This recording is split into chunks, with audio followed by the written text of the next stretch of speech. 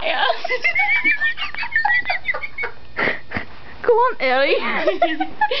oh, show Harry my goblet of fire right there between my legs. I'll say, Oi, Harry, is that you under the invisibility cloak? I can't see you. and you'll say, Oi, Hufflepuff girl, you look easy. Mm-hmm. And then I'll say, how about a butterbeer, Harry? How about a butterbeer and then a goblet of fire?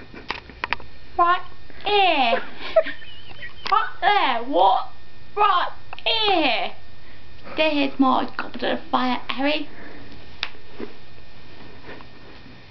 Show me your Patronus. Ride your Nimbus 2000 right between my thighs.